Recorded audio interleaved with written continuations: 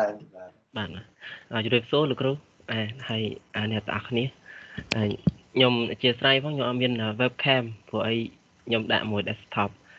ហើយខ្ញុំឈ្មោះតាមប្រូហ៊ីមបច្ចុប្បន្នជានិស្សិត combine master មួយ PhD នៅសាកលវិទ្យាល័យសុនឆុនយ៉ាងហើយខ្ញុំក៏ជា candidate នៅ Mobile Computing and Networking Lab ថ្ងៃហ្នឹងខ្ញុំចង់ present តាក់ទងជាមួយនឹង machine learning ឬក៏ include ទាំង deep learning ហ្នឹងនៅក្នុង programmable network architecture ចឹងហើយថ្ងៃហ្នឹងខ្ញុំចង់ include តាក់ទងមួយ algorithm flow ក៏ដូចជា simulation tool ដែលយើងធ្វើហ្នឹងជាមួយនឹង programmable ដែលយើងរៀប network architecture ថ្មីមួយសម្រាប់ propose ហើយ content នៃការនិយាយថ្ងៃហ្នឹងខ្ញុំចាប់ផ្ដើមមួយ standard ព្រោះអី programmable networking ដែលយើង apply AI ហ្នឹងគឺវាអត់តមាន interface អឺខ្ញុំសេមួយ mail រៀងនេះតិច យើងអត់តមានមួយ interface ឬក៏ network device ណាមួយដើម្បី suitable ជាមួយ computing model របស់យើងឯងអញ្ចឹងយើង base ទៅលើ standard របស់ organization ធំធំដែលគេរៀបនឹងធ្វើ specification មួយ device អស់ហ្នឹងហើយមួយទៀត background study គឺតាក់ទងមួយ enabler technology ជាមួយនឹង AI ហ្នឹងដែលគេ integrate ចូលគ្នា ហើយមួយទៀតគឺតាក់ទងមួយ challenge challenge មួយ machine learning នៅក្នុង ដែលយើងហៅ technology ហ្នឹងថា software defined network ហ្នឹងហើយចុងក្រោយខ្ញុំចង់ណែនាំមួយ simulation environment ដែលថា tool អីដែលយើងប្រើហើយយើងភ្ជាប់វារបៀបម៉េចអញ្ចឹងចាប់ផ្ដើមដំបូងតាក់ទងមួយ standard នៅនៅក្នុង programmable network ហ្នឹងអញ្ចឹងយើងមាន organization ធំមួយឈ្មោះថា next generation mobile network អញ្ចឹង next generation mobile network ហ្នឹងគឺ corporate មួយក្រុមហ៊ុន telecommunication ជាច្រើនហើយ contributor របស់គេហ្នឹង គឺមានដូចជា Cisco Huawei ដែលយើងធ្លាប់ស្គាល់ហ្នឹងទៅអញ្ចឹងតាក់ទងមួយ goal របស់គេគឺគេធ្វើយ៉ាងម៉េចគេ collect ជាមួយនឹង trending របស់ network ថ្មីថ្មីហ្នឹងដើម្បីឲ្យយើងបានដឹងអញ្ចឹងមក challenge ធំរបស់គេមិន challenge ទេគឺ contribution ធំរបស់គេគឺតាក់ទងមួយ end to end 5G network ហ្នឹងដែលមាន include AI អញ្ចឹងហើយពេលណាដែលយើង include AI ដឹងស្រាប់ហើយ AI គឺវាមាន problem solving ក៏ដូចជា decision making ច្រើននៅក្នុង AI ហ្នឹងវាមានទាំងវាមាន flow ជាច្រើនអញ្ចឹងហើយយើងអាច apply វាហើយយើងអាចធ្វើ customize network របស់យើងហ្នឹងទៅជា self configuration បានន័យថាយើងអត់ត្រូវការ manual ឬក៏ explicit programming ទេយើងអត់ត្រូវការ manual administrator ដើម្បី manual configure ទេយើងអាច apply model ហ្នឹងទៅ ពេលដែលយើងឃើញ data ដែលឬក៏ traffic អីដែលមកថ្មីដែលស្តៀងមួយគ្រប់ data ចាស់ហ្នឹងគឺយើង forward វាទៅតាមនឹងស្រេចទៅមកហើយ healing ហ្នឹងតាក់ទងមួយ maintenance optimization មួយ protection វា AI ហ្នឹងក៏អាចជួយ network យើងឲ្យ secure ជាងមុនដូចគ្នាហើយមួយវិញទៀតគឺ standard ធំមួយទៀតគឺ ETSI គឺនៅខាង European Telecommunication Standard Institute អញ្ចឹងហើយ standard organization មួយហ្នឹងក៏គេ focus ទៅលើ build experiment network intelligence នឹងដែរអញ្ចឹងដឹងស្រាប់ឲ្យ AI គឺវាអត់តន់មាននៅក្នុង real implementation ទេប៉ុន្តែគេព្យាយាមធ្វើ specification គេព្យាយាមធ្វើ device ដើម្បីអាចអាចអាចនិយាយថា AI capacity ហ្នឹងអាច compute នៅលើនឹងបានទាំងស្រុងតែហ្មងបាទហើយមួយទៀតគឺ ITU ក៏ក៏ជា standard មួយដែរដែលគេធ្វើហ្នឹងគេចាប់ដើមធ្វើបាន10ហើយគេចាប់ដើមធ្វើបាន10 specification ហើយដែលក្នុងហ្នឹងមាន interface មាន network architecture protocol ថ្មី ហើយនឹង algorithm and data format ហើយសូម្បីតា Cisco ហ្នឹងក៏គេធ្វើ device គេហៅ Cisco C408 MLDL ហ្នឹងដែលមានដែលមាន capacity ធំតាប្រើ processing unit GPU អីចឹងទៅដើម្បីធ្វើ AI model ហ្នឹងនៅក្នុង real time networking របស់យើង អញ្ចឹងចាប់ផ្ដើមចូលមកដល់ content ទី2គឺតាក់ទងមួយ background study មិនបានយើងត្រូវការ machine learning ហ្នឹងនៅក្នុង networking របស់យើង បាទអញ្ចឹងដឹងស្រាប់ហើយ networking ឥឡូវគឺគេ explore ច្រើនជាមួយនឹង IoT device បាទ IoT ហ្នឹងមានច្រើនទៀតមានមាន Internet of Healthcare Thing បាទមាន Internet of Vehicle មាន Internet បើនិយាយចំទៅគេហៅមួយទៀតហៅ Internet of Everything ហ្នឹងបានន័យថាគេព្យាយាម អា wearable device មួយ device អីតូចតូចហ្នឹងគឺគេមាន internet access ឲ្យវាទាំងអស់អញ្ចឹងហើយជាមួយនឹង device ហ្នឹងទៀតគឺវាមានច្រើនប្រភេទវាមាន data sensing វាមាន actuating sensing ហ្នឹងដូចថា sensor ហ្នឹងបាទ sensor device ហ្នឹងវាមាន data carrying វាមានវាមាន general IoT device ចឹងទៅអញ្ចឹង device ទាំងអស់ហ្នឹងទៀតវាកាត់ចេញពីប្រភពខុសគ្នាវា កាត់ចេញពី standard ហើយមួយទៀតគឺ proprietary បានន័យថាក្រុមហ៊ុនឯកជនឬក៏វាអត់ជា standard អីត្រឹមត្រូវដែល protocol របស់វាសមស្របមួយ end to end process អញ្ចឹងអញ្ចឹងហើយទាំងអស់ហ្នឹងដែលវាជាបង្កើតមួយទៅជា heterogeneous បានន័យថាវា complicate សម្រាប់យើង control មែនតើអញ្ចឹងហើយបានយើងត្រូវការ machine learning ដើម្បី organize ដើម្បី manage ដើម្បី optimize ហើយ IoT device ហ្នឹងទៀតក៏គេប្រើ communication technology ខុសៗគ្នាដែរអាចថា IoT ខ្លះប្រើ 6B ឬក៏ប្រើ Sigfox បាទហើយប្រើ IEEE ឬក៏ WiMAX អីខុសៗគ្នាហើយអានេះគឺតកតងមួយ connectivity connectivity នឹងបានន័យថាតកតងមួយ 5G network ហ្នឹងគឺគេហៅវាថា ultra dense network អូ ultra dense network ហ្នឹងបានន័យថាគេ apply microwave propagation ហ្នឹងអញ្ចឹងហើយវារបៀបថាវានៅចិត្តចិត្តគ្នាហើយវាពិបាកក្នុងការ manage ចឹងហើយបានយើង lead មកដល់ទាំងអស់ហ្នឹងយើង lead មកដល់យើងប្រើ machine learning technique machine learning ហ្នឹងក៏ខ្ញុំសំដៅទៅលើ deep learning អីគឺខ្ញុំ include នៅក្នុងហ្នឹងដូចគ្នាបាទអញ្ចឹងហើយយើងប្រើនៅក្នុងអីគេនៅក្នុង SDN SDN ហ្នឹងគឺ software defined networking បានន័យថាយើង separate យើងផ្ដាច់ខ្លួនរវាង hardware ជាមួយនឹង control software យើងអាចនិយាយអញ្ចឹងបាទ ចឹងហើយ machine learning ហ្នឹងគឺត្រូវការអីខ្លះដើម្បី apply នៅក្នុង network បានគឺចាំបាច់មែនតើគឺ computing បានន័យថា latency របស់វាគឺត្រូវមិន suitable មួយ real time បានអាច apply វាចូលបានចឹងហើយយើងត្រូវប្រើ GPU ឬក៏ TPU ដែលមានប្រអាហ្នឹងជា processing unit ណាដែលថាយើងទូទៅយើងប្រើតែ CPU ឯនៅក្នុងទូរស័ព្ទឬក៏ computer យើងហ្នឹងតែតម្លៃបើយើងចង់ឲ្យវា real time ហើយលឿនយើងត្រូវប្រើអាពីរនេះ អញ្ចឹងហើយ machine learning នឹងទៀតគឺ suitable for data driven data driven ហ្នឹងគឺបានន័យថាបើនិយាយជារួមទៅគឺ data based ទៅលើ data based ទៅលើ training data ព្រោះអី machine learning វាដូចជា model មួយអញ្ចឹងថាយើងប្រើ algorithm ខុសគ្នាទៅ model វាខុសខុសគ្នាអញ្ចឹងអីដែលយើងធ្វើដំបូងគឺយើង input training data set បាទយើង input training data set ហ្នឹងដើម្បីធ្វើឲ្យ data model របស់យើងហ្នឹងវាវាសមស្របជាមួយ environment មួយហ្នឹងហើយយើងបាន accuracy មក យើងបាន accuracy មកបើសិនជាវា acceptable យើងចាប់ផ្ដើម apply testing ហើយ testing នឹងទៀតគឺបានន័យថាបើបើសិនជាយើងធៀបមួយ network វិញបានន័យថា real time network ណាដែលថា input មកគឺវាដឹងគ្រប់ based on អានេះអស់ហើយអញ្ចឹងវាអាច guide អានេះទៅវា accurate បាទវាវាវា guide បានន័យថាវា routing ឬក៏ធ្វើអីមួយតពីហ្នឹងគឺវា accurate ដោយសារវាបានអា training data ហ្នឹងមកបរៀនវាហើយអស់ហើយដែលយើងហៅថា supervise វាហើយបន្តមកទៀត uh, machine learning can perform data analysis network optimization and automate action បានន័យថា automate action ហ្នឹងហើយដែលអីដែលយើងចង់បានជាងគេគឺ automate action ហ្នឹងហើយបានន័យថា uh, instead of uh, it uh, explicit programming ណាដែលថាយើង configure វា manual ហ្នឹងគឺយើងចង់បាន implicit programming យើងចង់បានអីមួយដែល automatic ហើយមួយទៀតគឺ programmability of SDN បាទអញ្ចឹង SDN ហ្នឹងដែលថាយើង cooperate មួយ machine learning ហ្នឹង contribute ធំរបស់វាហ្នឹងគឺ programmability ហ្នឹងហើយបាទ programmability scalability ហើយបាទពីរហ្នឹងហើយសំខាន់ជាងគេគឺ programmability ហើយនិង scalability អញ្ចឹងហើយបើយើង decouple រវាង data plan ហើយ control plan មួយ application plan ហើយយើងអាចផ្ទុក machine learning របស់យើងនៅក្នុង control plan បានហើយដើម្បីធ្វើការ analyze ទៅលើ data plan data set ហ្នឹងអញ្ចឹងនៅក្នុង section background study ហ្នឹងខ្ញុំនឹងនិយាយមួយ SDN architecture ត្រួសត្រាសបាទហើយនឹង machine learning overview អញ្ចឹង SDN architecture ហ្នឹងដំបូងឡើយគឺ define ឡើយដោយ open networking foundation បានវានេះគឺជា institute មួយបាទជាអង្គការមួយដែលសិក្សាទៅលើសិក្សាទៅលើ SDN ហ្នឹងហើយគេមិនមែនសិក្សាទៅលើ concept របស់វាទេ គឺគេសិក្សាទៅលើ development ហ្មងហើយ standard ហើយនឹងផ្សព្វផ្សាយអញ្ចឹង development គឺគេធ្វើ device ធ្វើ device ដែល suitable ជាមួយនឹង paradigm របស់ SDN ហ្នឹងហើយនេះជានិយមន័យរបស់ ONF ដែល set ទៅលើ SDN ហ្នឹងហើយនៅក្នុងហ្នឹង SDN ហ្នឹងគោលរបស់គេគឺគេ separate រវាង data plan control plan និង application plan data plan ហ្នឹងអីគេគឺសំដៅទៅលើ user device របស់យើងហ្នឹងហើយបាទ user device ហ្នឹងគឺអ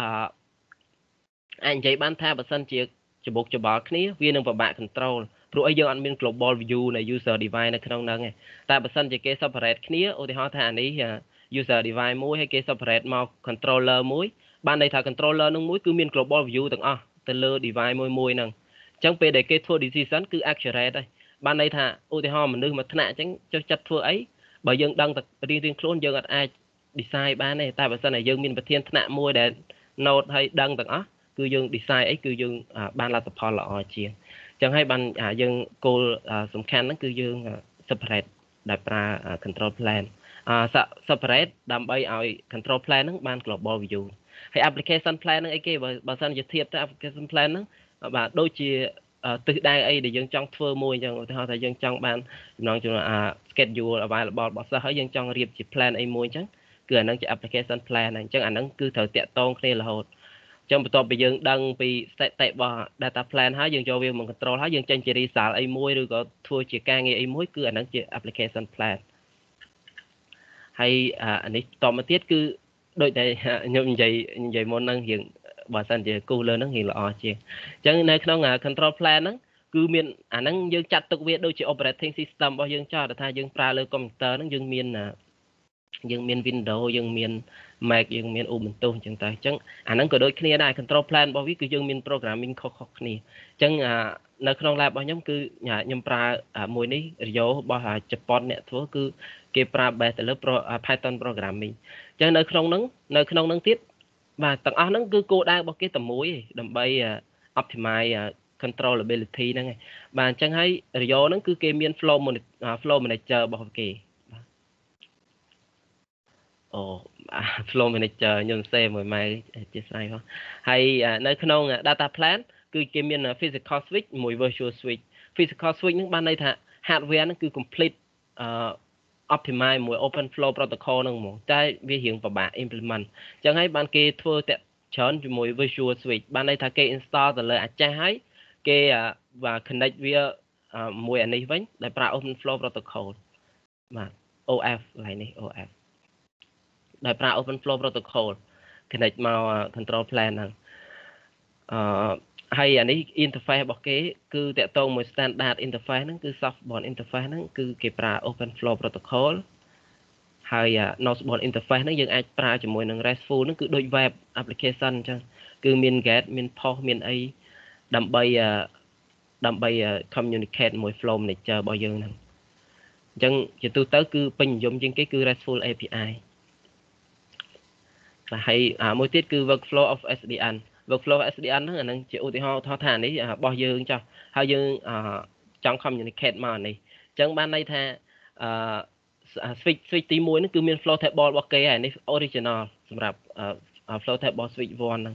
អញ្ចឹងគេមាន rule គេមាន rule ថាចង់ទៅពីនេះមកនេះគឺទៅតាមផ្លូវណាអញ្ចឹងទៅលឿនជាងគេអញ្ចឹងអានេះជា sample technology sample topology តូចមួយហើយបន្ទាប់មក action តាមពិតនៅក្នុង flow table ហ្នឹងមានច្រើនទៀត មាន data path ID មាន table ID មាន priority code មាន interface អីច្រើននៅក្នុង SDN ហ្នឹងប៉ុន្តែគោលការណ៍ធំរបស់យើងគឺ instruction set ហ្នឹងគឺ action ហ្នឹងហើយចឹងបន្ទាប់មកពេលឧទាហរណ៍ថាវាខ្វះ action ណាមួយវាខ្វះ flow entry ណាមួយគឺ controller ជាអ្នក config ឲ្យបើសិនតែយើងប្រើ reactive បើសិនតែយើងប្រើ reactive mode បានន័យថាយើងឲ្យ open flow controller អ្នក config ឲ្យតែបើសិនតែយើងប្រើ proactive mode គឺ switch នេះ switch local នេះគឺធ្វើការខ្លួនឯងបាទអញ្ចឹងអាក្នុងករណីនេះគឺយើងធ្វើជាមួយ controller យើងប្រើ reactive mode យើង install entry 2នេះទៅបាទអញ្ចឹងបានន័យថា device នេះអឺ destination port 2អញ្ចឹងគេតម្លើងថ្មីព្រោះអីអានេះបាទអីដែលអីដែល switch នឹងមានគឺមានតែមួយឯងមកអាទី3មកអានេះ អត់មានអានេះអញ្ចឹងពេលដែលខ្វះអីមួយខ្វះ flow entry អីមួយគឺ open flow នឹងជាអ្នក control ហ្មងបាទអញ្ចឹង open flow ជាអ្នក control បានន័យថា open flow នឹងអាចមានសិទ្ធិច្រើនជាងអានេះជាអ្នក control ព្រោះអីអានេះវាអត់ដឹងអីច្រើនទេបើសិនជាមាន network ឧទាហរណ៍យើងតទៅ switch 2 3ឬតទៅ topology យើងធំជាងហ្នឹងអានេះវាដឹងតែ surrounding វាវាដឹងតែមកអានេះវាដឹងតែមកអានេះអញ្ចឹងវាអត់អាចទៅដែលថាលឿនជាងគេ គឺវាអត់អាចមានកប៉ាវាអត់អាចមាន capability ហ្នឹងឯង អញ្ចឹងវាត្រូវការ open flow controller ហ្នឹងឯងដើម្បីជាអ្នក guide វាបាទអញ្ចឹងដូចគ្នាហើយនេះពេលខ្លះគឺ action របស់វាគឺ drop បានន័យថាឧទាហរណ៍លេខលេខអាចនិយាយថា device លេខ2ចង់មក device លេខ3ចុះអចឹងចង់មកគឺអាផ្លូវនេះគឺយើងអត់មានទេបាទយើងអត់មាននៅក្នុង sample topology យើងហ្នឹងឯងអញ្ចឹងគេទៅត្រូវ switch មួយសិនអញ្ចឹងអាចនិយាយបានថា data របស់យើងគឺត្រូវ leakage បានន័យថា leak leak នៅនឹងបាត់ហើយអញ្ចឹងគេអត់អា គេអត់ support អញ្ចឹងបានន័យថា controller ក៏អាច improve security នៅក្នុងករណីអញ្ចឹងអញ្ចឹងដែរហើយបន្តមកទៀតខ្ញុំចង់និយាយតទៅមួយ machine learning អញ្ចឹងអីដែលយើងធ្វើបានន័យថាអាហ្នឹងគឺជា sample មួយហៅថា manual control ចាស់បាទព្រោះអីខ្ញុំនិយាយនឹងដូចជាថាអត់មានអីដើម្បី install វាសោះបាទហេតុអីបានចេញមកចេញតែ result យកអត់មានអីថា model algorithm អីអញ្ចឹងគឺយើងប្រើយើងប្រើ machine learning បាទយើងប្រើ machine learning តាំងក្នុង machine learning ហ្នឹងគឺ គេមាន include បាទច្រើនតាថា objective របស់យើងគឺអីខ្លះ objective របស់យើងបាទអាចថា sample ទៅគឺ classification បាទយើង recommendation បាទឬក៏យើង prediction អីមួយអញ្ចឹងទៅអញ្ចឹង clustering បាទនៅមានច្រើនទៀត machine learning ហ្នឹងដែលថាយើងធ្លាប់លើឲ្យគេ apply ដំបូងគឺនៅក្នុង industrial 4.0បាទ industrial 4 4.0ហ្នឹងចេញពីអាល្លឺម៉ង់ហ្នឹងដែលគេធ្វើអាតាក់ទងមួយ អា industrial IoT ដែលបំពាក់ជាមួយ AI សម្រាប់ smart decision អញ្ចឹងអានេះត្រួសត្រុសឲ្យតាក់ទងមួយ machine learning គឺយើងចែកជា4ធំធំ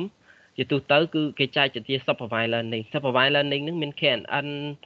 decision tree អីហ្នឹងអាខ្ញុំមាន slide មួយទៀត slide ហ្នឹងគឺអឺរៀង detail ដែរតាក់ទងមក algorithm អស់ហ្នឹងចាំខ្ញុំពេលខ្ញុំចាប់ខ្ញុំនឹងផុសតាក់ទងអា slide ច្រើនហ្នឹងហើយ unsupervised អា ខុសគ្នាគឺត្រង់ថា supervised learning គឺវាត្រូវការ training data set label training data set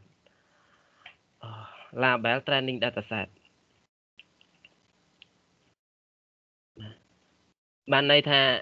បើសិនជាអត់មាន label training data set ទេ algorithm នេះអត់អាចធ្វើការបានទេព្រោះអីវាត្រូវការអាហ្នឹងឲ្យយក train model របស់គេបាទយក train model ហ្នឹងបើសិនជា training data set របស់យើងអន់ model របស់យើងក៏អន់ទៅតាមហ្នឹងដែរ តែបើសិនជា training data set របស់យើងល្អបាទ model របស់យើងក៏ល្អទៅតាមហ្នឹងដែរអញ្ចឹងហើយបន្ទាប់ពីយើង training ហើយបានយើង input data testing អីក្រោយទៀតហើយបើសិនជា unsupervised learning ក៏ត្រូវការ training data ដែរប៉ុន្តែ training របស់ data របស់គេគឺ unlabel បានន័យថាបើសិនជា អឺសំឡេងគឺគេដាក់ទាំងសំឡេងហ្នឹងចូលហ្មងបើសិនជាវីដេអូគេដាក់ទាំងវីដេអូហ្នឹងចូលហ្មងគេអត់មាន label ឲ្យយើងជា column ឬក៏ជា row អីដែលថា well organized ដើម្បីឲ្យ data ហ្នឹងស្រួលគិត label អញ្ចឹងអត់មានទេបាទគឺគេ input ជា raw file យកហ្មងអញ្ចឹងយើងត្រូវប្រើបើពេលដែលយើងជួបមួយកលៈទេសៈបែបហ្នឹងគឺយើងត្រូវប្រើ unsupervised learning ហើយ semi ហ្នឹងគឺពាក់កណ្ដាលពាក់កណ្ដាលម្នាក់អាហ្នឹងវារៀង complex តិចហើយបន្ទាប់មកទៀត reinforcement learning reinforcement learning ហ្នឹងគឺយើងព្រោះអីដឹងស្រាប់ហើយថានៅក្នុងណា network រាល់ថ្ងៃគឺគេ apply នៅក្នុង internet of healthcare thing គេ apply នៅក្នុង sector ផ្សេងផ្សេងដែលថា data set ហ្នឹងគឺយើងអាចយកមកប្រើដោយ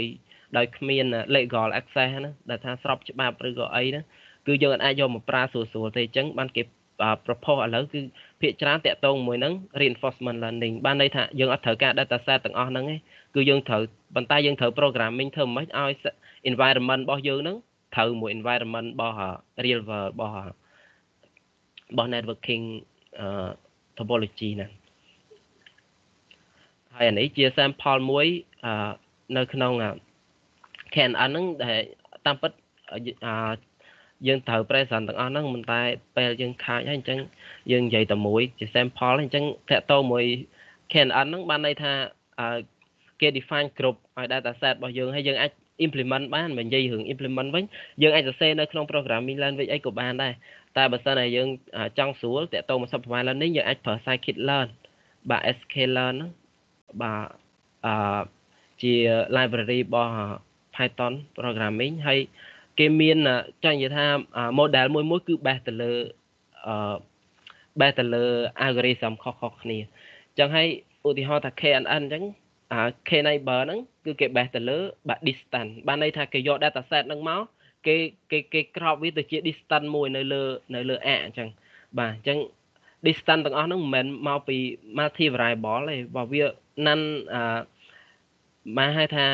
អឺអាចនិយាយថា 3D dimensional ក៏បានដែរបាទប៉ុន្តែយើងត្រូវអឺ customize ឬក៏ corporate វាមិនឲ្យវាចេញជាអឺចេញជាអារបៀបថាអឺ dimensional មួយដែលយើងអាច apply អាច implement model បានអញ្ចឹងហើយយើងមានវិធីសាស្ត្រច្រើននៅក្នុងការធ្វើ distance ហ្នឹងដើម្បីកណនី distance ហ្នឹងបានគឺយើងមាន algorithm ច្រើនដែលយើង KNN ហ្នឹងបេះទៅលើហ្នឹងមានដូចជា Minkowski Manhattan Euclidean អីចឹងទៅអានេះ sample មួយពី KNN ចឹងបន្ទាប់មកទៀតខ្ញុំចង់ចូលទៅដល់នេះហ្មងគឺតកតមួយ machine learning ហ្នឹងនៅក្នុង SDN ហ្នឹងអីដែលគេអត់ទាន់បានធ្វើដែលជា បើសិនតែយើងចង់មករៀនហើយយើងចង់ research តកតមួយ machine learning មួយ SDN ហ្នឹងយើងអាចធ្វើជា traffic classification បាទ traffic classification ហ្នឹងបានន័យថាម៉េចឧទាហរណ៍ថាការមុនការដំបូងឡើយគឺគេប្រើ pod base pod base ហ្នឹងបានន័យថាមិនមែន mobile អឺមិន mobile networking ឯងគេមាន pod base បានន័យថា pod ហ្នឹងពេលដែលចូលមកគឺគេដឹងតែ application ហ្នឹងអញ្ចឹងគេមាន rule specific ឲ្យ application មួយហ្នឹងតែដល់ពេលឥឡូវគឺ dynamic pod បានន័យថា pod ហ្នឹងវាច្រើនវាអីយើងអត់អាចទៅយកអញ្ចឹងមកធ្វើ classification traffic របស់យើងបានទេអញ្ចឹងយើងត្រូវបាទបន្តមកទៀតគេមានមួយទៀតគេមាន deep packet inspection deep packet inspection ហ្នឹងគឺគេ inspect ប៉ុន្តែ computing time របស់គេគឺ high អញ្ចឹងបានន័យថាយើងអត់អាចទៅយើងអាចយកអានឹងសម្រាប់ apply នៅក្នុង real time networking ឯងអញ្ចឹងបានគេ propose តាក់ទងមួយហ្នឹង machine learning base បាទ machine learning base អញ្ចឹង machine learning base ហ្នឹង គេ apply គេមាន algorithm ខុសៗគ្នាហើយមាន researcher ច្រើនគេធ្វើមួយ decision tree អីបាននៅក្នុងហ្នឹងក៏គេក៏ possible ដែរហើយ routing optimization ហ្នឹងដូចខ្ញុំនិយាយមុននឹងតាក់ទងមួយ control plan ហ្នឹងមាន global view ហើយយើងអាច optimize ឲ្យវាលឿនជាងធម្មតាអញ្ចឹងទៅហើយ QoS prediction មួយ resource management ហើយហ្នឹងតាក់ទងមួយ machine learning in software defined network ហ្នឹងដែល ថានៅក្នុង network របស់យើងគឺ restricted resource មែនតើអញ្ចឹងហើយអីដែលយើងអាចធ្វើបានគឺយើងអាច predict ឧទាហរណ៍ថា peak ឬក៏ off peak hour ហ្នឹងដើម្បី allocate resource ហ្នឹងខុសៗគ្នាអញ្ចឹងទៅបាទឥឡូវយើង22នាទីហើយឥឡូវខ្ញុំសូមនិយាយឲ្យលឿនបន្តិចកន្លែងនេះហើយ machine learning in networking នឹងទៀតអញ្ចឹងអាហ្នឹងបើបើនេះគឺជា topology sample មួយ ចឹងហើយអានេះបើបើយើងធៀបទៅដូចជា data plan មួយអញ្ចឹងបាទតាពិត data plan អានេះក៏នៅក្នុង data plan អានេះក៏នៅក្នុង data plan ដែរអញ្ចឹងអានេះ switch នេះដើម្បី support support software defined networking technology បានគឺវាត្រូវជា open flow switch បាទវាត្រូវជា open flow switch អញ្ចឹងនៅក្នុង IoT យើងដឹងស្រាប់ថាមាន application ច្រើនអញ្ចឹងទៅអញ្ចឹង data flow ដែលដែល flow កាត់ open flow switch ហ្នឹង យើងនឹងបញ្ជូនបញ្ជូនទៅកាន់ controller បញ្ជូនទៅកាន់ controller ដើម្បី control ហើយអាហ្នឹងជា figure ហ្នឹងជា propose មួយរបស់ខ្ញុំដែលខ្ញុំ propose តាក់ទងមួយនឹង resource allocation បានន័យថានៅក្នុង app link មួយ down link ហ្នឹងបាទអញ្ចឹងឧទាហរណ៍ថា app link វាត្រូវការ real time ហើយព្រោះអីយើង request អីមួយប៉ុន្តែ down link ហ្នឹងសម្រាប់បើថា sample example ទៅ ដូចថាយើង download ឬក៏យើងធ្វើអីមួយឬក៏យើងខាច់អីមួយទុកអញ្ចឹងគឺនៅក្នុង down link អញ្ចឹងអីដែលខ្ញុំចង់ធ្វើគឺខ្ញុំចង់ធ្វើមិនឲ្យអានេះ priority ជាងហើយយើងទាញយក resource អាផ្សេងទៀតដើម្បីផ្គត់ផ្គង់អានេះឲ្យអស់ពីសមត្ថភាពអញ្ចឹងដើម្បីឲ្យវាលឿនអញ្ចឹងដែរអញ្ចឹងហើយអា paradigm 2ដែលយើងអាច integrate ចូលគ្នាគឺ NFV មួយ SDN ហ្នឹងហើយ NFV ETSI បានន័យថាអា standard ដែលខ្ញុំនិយាយពីដំបូងឡើយហ្នឹង គេបែងចែក NFV ហ្នឹងទៅជា4ផ្នែកទៅជា management administrator ទៅជា virtual infrastructure manager virtual network function manager ហើយមួយមួយទៀតបាទ network function បាទមួយទៀតហ្នឹងបានន័យថាមកអាហ្នឹងគេហៅ OSS ទេបាទប៉ុន្តែឥឡូវខ្ញុំអត់ include នៅក្នុង figure ហ្នឹងឯងព្រោះអីវាអត់ related ចឹងហើយនៅក្នុងអានេះមួយគឺយើងធ្វើអីបានន័យថាជាទូទៅនៅក្នុង network របស់យើងគឺយើងមាន device ច្រើនណាមាន firewall device មាន device អីច្រើនចឹង NFV គឺគេអត់គេអត់តម្រូវឲ្យយើងមាន device ច្រើនចឹងទេយើងមាន device មួយដែលធំហើយគឺយើងមាន virtual programming មួយដែលយើងបែងចែក device ហ្នឹងទៅជាយើង allocate device ហ្នឹងទៅជាអីមួយតាម specific purpose របស់យើងទៅហើយដល់ពេល controller ចង់ access ទៅកាន់ device ហ្នឹងអីដែលគេធ្វើគឺគេមាន service function chaining បានន័យថាគេផ្គុំរវាង virtual network function device ជាច្រើនហ្នឹងដើម្បី access ទៅរក hardware របស់ហ្នឹងឧទាហរណ៍ថាបើសិនជាអានេះផ្គុំ3ហ្នឹងទៅវា access ទៅ firewall អីចឹងទៅឬក៏ផ្គុំ3ហ្នឹងទៅទៅរក resource pool ណាមួយចឹងទៅអញ្ចឹងអាហ្នឹងហើយគឺជា RSV paradigm ហ្នឹងដែលវាត្រូវបាន standard ដោយក្រុមហ៊ុនជាច្រើនដោយសារវា sale តាក់ទងមួយនឹង expand របស់ mobile operator ហើយមួយវិញទៀតតកតងមួយនឹងប្រព័ន្ធ agent បានន័យថាហេតុអីបានយើងត្រូវការ automate networking មិនធ្វើមិនទៅបានយើងបាន automate networking ហ្នឹងអញ្ចឹងអីដែលយើងគួរអីដែលយើងអាច apply បានគឺ deep Q network ឬក៏ deep Q learning ឬក៏ deep reinforcement learning ណាមួយព្រោះអីនៅក្នុងហ្នឹងគឺយើងអាច build set up environment បាន ហើយការ set up environment នេះបើគិតជារឿង implement វិញយើងអាចប្រើ OpenAI Gym ឬក៏យើងអាចធ្វើដោយប្រើ programming language អីក៏បានដែរតែសំខាន់យើងត្រូវមាន4 function សំខាន់ទី1គឺ initialize បាទ initialize ហ្នឹងបានន័យថា initialize environment របស់យើងហ្នឹងគឺចូលក្នុងនឹងទាំងអស់បាទ environment របស់ network យើងនឹង resource ប្រហែលភាគរយអីប្រហែលភាគរយហ្នឹងគឺចូលក្នុងនឹងទាំងអស់បន្ទាប់មកទៀត step បាទ step ហើយ random បាទព្រោះអី deep learning គឺយើងអត់ត្រូវការ data set ទេប៉ុន្តែអីដែលសំខាន់គឺ random ហ្នឹងឯងអញ្ចឹង random ហ្នឹងគឺយើងឧទាហរណ៍ថា maximum maximum ឧទាហរណ៍អញ្ចឹងវារៀងវារៀងបែកតិចប៉ុន្តែឧទាហរណ៍ថា maximum 100 minimum 0ចឹងហើយបើសិនជា state នឹងនៅក្នុងចន្លោះនឹងណាមួយគឺយើង sample action មួយបានន័យថាយើងធ្វើអីមួយបើសិនជា resource នឹងនៅក្នុង45% app link ចោះ ប៉ុន្តែ network នឹងកំពុង congestion ខ្លាំងអញ្ចឹងយើង apply action 1ហ្នឹងទៅវាប្រែប្រួលយ៉ាងម៉េចហើយវាបាន reward មកយ៉ាងម៉េចបានន័យថាពេលដែលយើង apply action នឹងមួយតើវា improve យ៉ាងណាដែរអញ្ចឹងបន្ទាប់មកយើង store វានៅក្នុង queue table ប៉ុន្តែដោយសារតែ queue table ហ្នឹងវាត្រូវការ computation ហ្នឹងវាច្រើនហួសហេតុចឹងបានគេប្រើ function approximation ហ្នឹងដែលប្រើ deep neural network ចឹងបានន័យថា reward មួយមួយហ្នឹងគឺនៅក្នុង condition នេះទាំងអស់ចឹងហើយ អឺដែលថាយើងមិនចាំបាច់ធ្វើ queue table ដែលមាន complete reward ទេគឺយើងធ្វើ approximation បានន័យថាពេលដែល state ណាមួយមកគឺយើង approximate ហ្នឹងបានន័យថាប៉ាន់ស្មានអញ្ចឹងប៉ាន់ស្មានទៅលើអឺទៅលើការ random របស់យើងហ្នឹងដែលថា experience របស់អីចិនហ្នឹងហើយគឺយើង sample action យកទៅមកបើយើងអត់ត្រូវការធ្វើ Q table ហ្នឹងអានេះវារៀងវារៀងទៅនេះបន្តិចអឺ បន្តមកទៀតតទៅមួយ simulation environment អញ្ចឹងដឹងស្រាប់ហើយពេលដែលយើងចង់មករៀនតហើយយើងចង់ research ពេលដែលយើងបាន idea បាន architecture មកហើយគឺយើងត្រូវ put វា into practice បានន័យថាយើងប្រើ simulation tool ណាមួយដែល standard ហើយយើងយក result មកដើម្បី compare proof ថា theoretical approach របស់យើងនឹងពិតជាត្រឹមត្រូវអីអញ្ចឹងដែរបាទអញ្ចឹងហើយ អឺដើម្បីធ្វើនឹងបានគឺយើងត្រូវដឹងពី network architecture សិនព្រោះអី machine learning អត់តមាននៅក្នុង real implementation ទេអញ្ចឹងអីដែលយើងត្រូវដឹងគឺយើងត្រូវដឹង standard ដើម្បីឲ្យយើង apply ទៅត្រូវចំណុចវាអត់ចាកឆ្ងាយពីវាអត់វាអត់វាអត់ខុសវាអត់ហើយអញ្ចឹងហើយអានេះតកតងមួយ standard ដែល ETSI ជាអ្នក define អញ្ចឹងបើសិនជាយើងចង់ apply machine learning គឺយើង apply នៅក្នុង control plan បាទអញ្ចឹងអានេះទាំងអស់នេះ control plan អញ្ចឹងភាគច្រើនគឺគេ apply នៅក្នុងនេះនៅក្នុង network data analytic function ហ្នឹង NFDAF ហើយអានេះ data plan នេះអានេះវារៀងញ៉ៃញ៉ៃតិចខ្ញុំ skip អញ្ចឹង simulation environment តទៀតនៅក្នុង process ធ្វើការរបស់ខ្ញុំហ្នឹងគឺខ្ញុំប្រើ Rio controller ហ្នឹងដើម្បីដាក់ទូជា control plan ដែលយើង discuss មុនហ្នឹង ហើយ mini net topology ហ្នឹងគឺដើម្បីរៀបរៀប network topology របស់យើងហ្នឹងបាទដែលយើងដាក់ switch ឬក៏ដាក់ cluster node កន្លែងណាយើងដាក់ device node កន្លែងណាគឺយើងប្រើកម្មវិធីហ្នឹងហើយ open flow ហ្នឹងគឺតកតមួយ switch version បាទអញ្ចឹងអានេះវាមាន version 1 version 2ឥឡូវចេញទៅចេញ server version 3អីថ្មីថ្មីតទៀត iPof ហ្នឹងគឺជា tool របស់ Ubuntu ឯដើម្បី capture QoS parameter ហ្នឹង អញ្ចឹងឥឡូវគេចេញ iPost 3ដើម្បីឲ្យយើង capture QoS parameter ឬដូចជាមានដូចជា delay jitter packet drop អី packet loss អីអញ្ចឹងទៅហើយ rest ហ្នឹងដែលខ្ញុំនិយាយថា connect ពី control plan ទៅ data plan ហ្នឹងគឺយើងប្រើ rester បាទអញ្ចឹង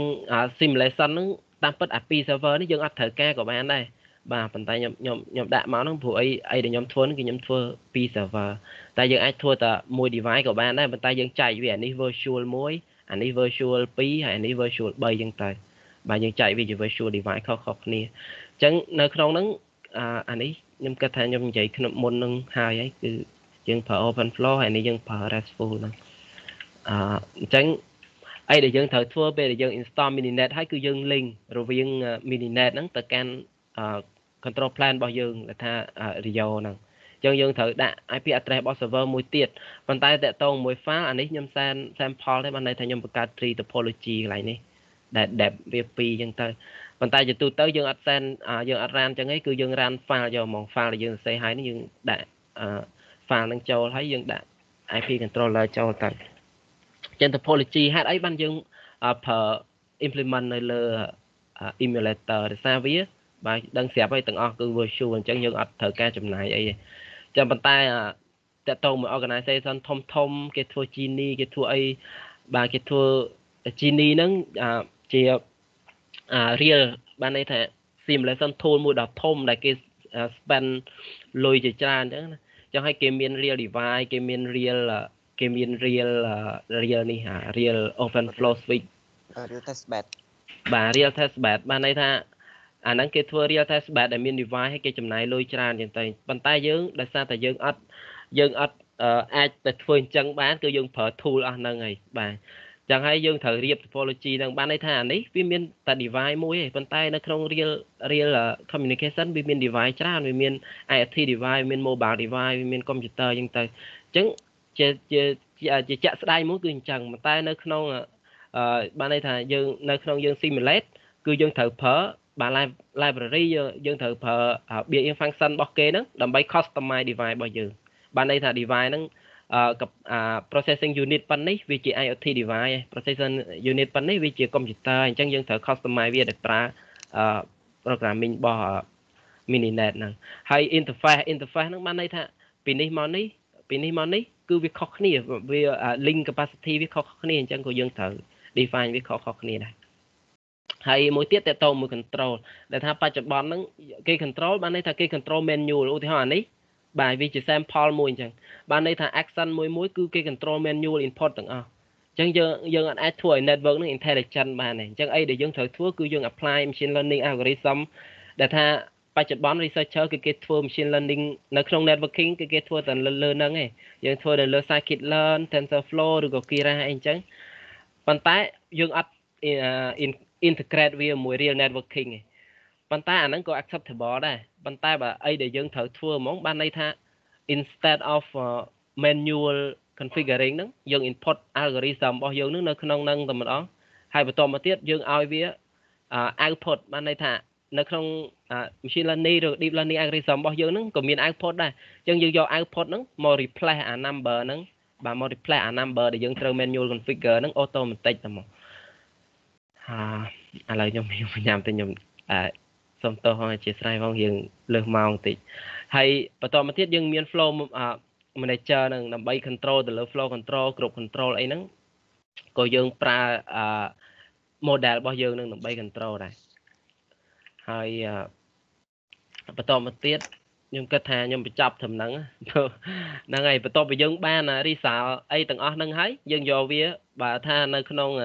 បើយើងបើសិនតែយើងចង់ implementation វាតយើងធ្វើតែទៅតាមអីដែលយើងរៀប network topology របស់យើងទៅតែបើសិនតែយើងបន្ទាប់មកយើងត្រូវសរសេរ paper ហ្នឹងគឺនៅក្នុង article ហ្នឹងបាទខ្ញុំអាចថាកាយតិចតួចតកតងមួយហ្នឹងគឺយើងត្រូវសរសេរបាទនៅក្នុងពេលដែលយើងបាន result អីចប់គឺយើងយកវាមកសរសេរជាអឺ original research article របស់យើង ចឹងយើងត្រូវមានឧទាហរណ៍ថា introduction ឧទាហរណ៍ថាអីដែលខ្ញុំ present មកហ្នឹងគឺ tool អីអីដែលខ្ញុំប្រើចឹងទៅអញ្ចឹងខ្ញុំអាចសរសេរថាជា 5G brief បាទហើយមួយនឹង IoT ហើយមួយនឹង AI នៅក្នុងហ្នឹងហើយមួយនឹង the convergent working flow អញ្ចឹងទៅខ្ញុំសរសេរវាមួយ section នៅក្នុង introduction អញ្ចឹងទៅហើយបន្តមកទៀតខ្ញុំសរសេរ related work បានន័យថា related work ហ្នឹងគឺអីមួយដែលគេ apply បាទស្តៀងស្តៀងគ្នាប៉ុន្តែគេ apply field ខុសៗគ្នាហើយគេបាន proof វា ជាលក្ខណៈ standard អស់ហើយយើងយកវា include នៅក្នុង related work section របស់យើងហើយបន្តមកទៀតបានយើងមាន system model system model ហ្នឹងគឺនៅក្នុងហ្នឹងមាន problem បាទបានន័យថាយើង create problem មួយដែលដែលថាអឺយើង face រាល់ថ្ងៃហ្នឹងឧទាហរណ៍ថា traffic classification អត់ល្អឬក៏អឺអឺដែលថា mission critical ដែលថាត្រូវការ real time ហ្នឹងវាអត់ទាន់បាន real time ដូចចិត្តអញ្ចឹងទៅយើង express វានៅក្នុង system model ហ្នឹងហើយយើងរៀប architecture របស់យើងអាម៉េចដើម្បី handle មួយ problem ហ្នឹងក៏យើង include នៅក្នុង system model ហ្នឹងដែរបន្តមកទៀតបានយើងដល់ប្រភព approach របស់យើងហ្នឹងដែលថាយើង implement ហ្នឹងយើងជំនួស parameter អីខ្លះពី machine learning ទៅ neural network ហ្នឹងគឺយើងត្រូវ express វានៅក្នុងហ្នឹងហើយ configuration របស់យើងដើម្បីឲ្យវា automatic ហ្នឹងយ៉ាងម៉េចគឺយើង express វានៅក្នុងហ្នឹងបន្តមកទៀតបានជិនដល់ conclusion អីបញ្ចប់ research article របស់យើងហ្នឹង បាទហើយនេះតកតងជាមួយនឹង lab របស់ខ្ញុំគឺ mobile computing and networking lab ហ្នឹងយើងអាច contact នៅក្នុង website ហ្នឹងបាន ដែលមាន form មួយហើយ recruit គឺយើងបាទថាមានការ recruit រៀងដូចជាឆំមាសមួយមួយ គឺមាន recruit អឺម្នាក់ឬក៏ពីរនាក់អីដែរអញ្ចឹងហើយយើងបើសិនតែយើង interest យើងអាចចូល website ហ្នឹងទៅយើងអានពី overview យើងអានពី research domain ហើយអឺតកតងមួយ requirement ខ្លះខ្លះនៅក្នុងហ្នឹងបាទសូមអរគុណហើយបើមានចម្ងល់អីបន្ថែមអាចតកតងតាម email នឹងបាន